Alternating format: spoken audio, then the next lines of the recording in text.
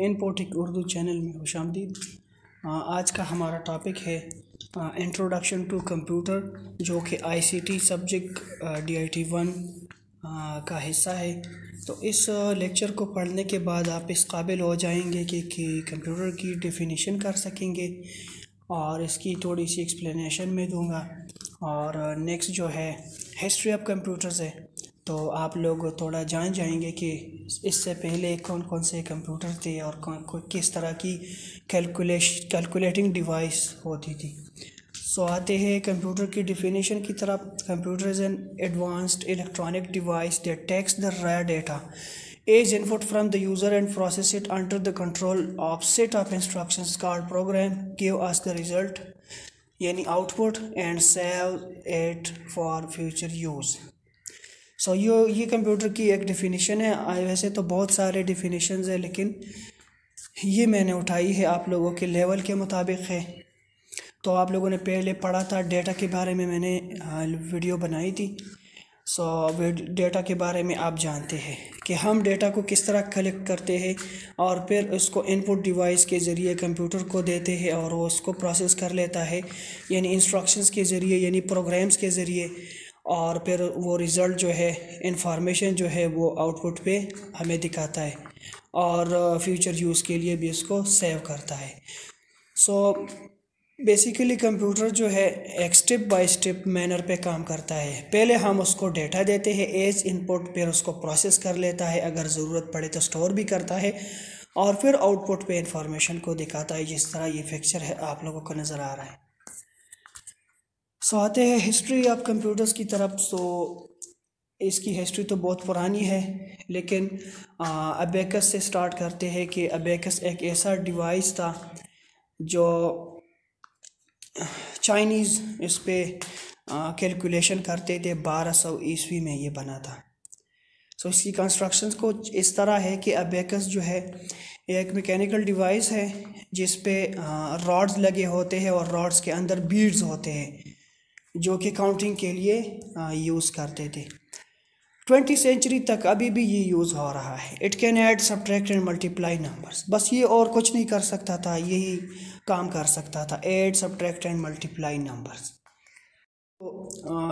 abacus के बाद John Napier's ने एक कैलकुलेटिंग डिवाइस बनाई जिसका नाम था नेपियर बॉन्स ये तस्वीर आपको नज़र आ रही है।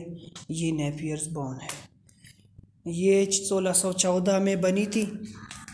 और इसकी कंस्ट्रक्शन कुछ इस तरह है कि ये वो बॉक्स है, जिसमें रोटेटिंग सिलेंडर्स है और हर सिलेंडर पे ज़ीरो से लेकर नाइन तक हिंसे जो है वो लिखे गए हैं। इसको घुमाना पड़ता है और फिर इस, इसका जो रिज़ल्ट है वो दूसरे रोटेटिंग व्हील पे आ जाता है। यानी ए मल्टीप्लाई और डिवाइड कर सकता है और इसके साथ साथ ये स्क्वायर रूट भी फाइंड आउट कर सकता है। सो so, उस ज़माने में बस यही चीज़ थी। इस पे लोग कैलकुलेशन करते थे और आजकल के जो कंप्यूटर्स है इससे तो हम बहुत काम लेते हैं ना।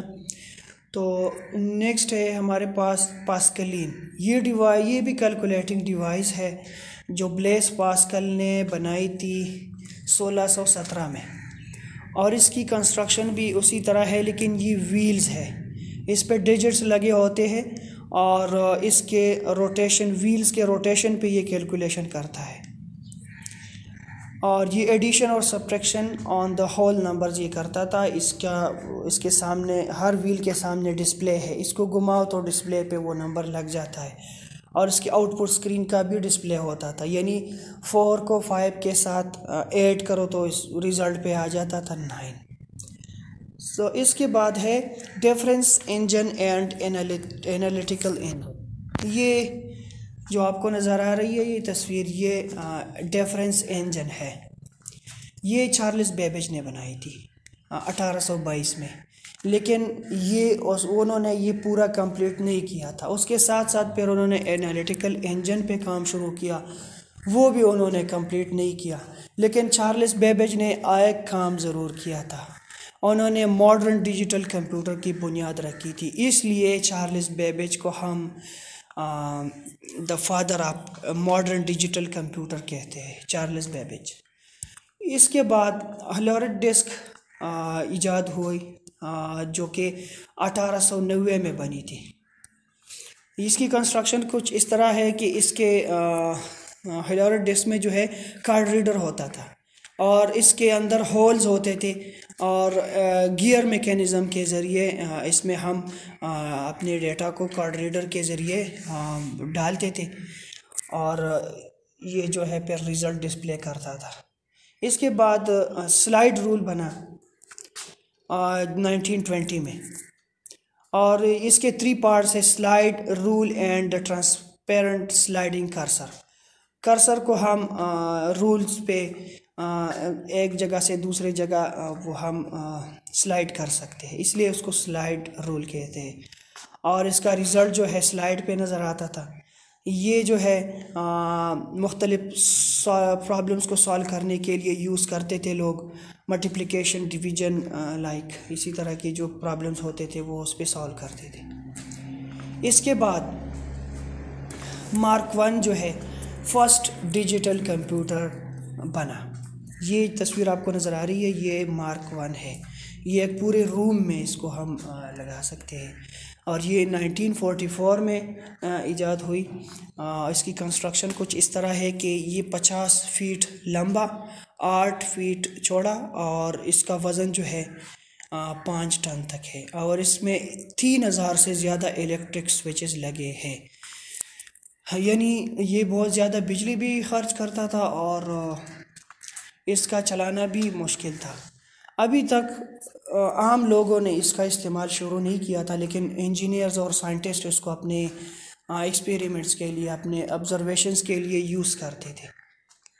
और ये जो है, इसकी वर्किंग क्या है कि ये थ्री नंबर्स को ऐड कर सकता था वन सेकंड में। यानी एट डिजिट नंबर को वन सेकंड में ऐड करता था। यानी बहुत तेज़ कंप्यूटर था। अच्छा स्टूडेंट्स नेक्स्ट टॉपिक हमारा जो होगा इन जनरेशन्स ऑफ़ कंप्यूटर तो ये भी हिस्ट्री से रिलेटेड है। यानी कंप्यूटर की जो हिस्ट्री है, वो एक कंटिन्यूस प्रोसेस है। यानी रोज़ दर रोज़ इसमें नई नई ईजादात हो रही है ना? तो ये कभी स्टॉप नहीं होगी ये हिस्ट्री यानी हम आज के दिन तक जितने भी ईजादात हुई है, उस पर थोड़ा सा ओवरव्यू में दूँगा।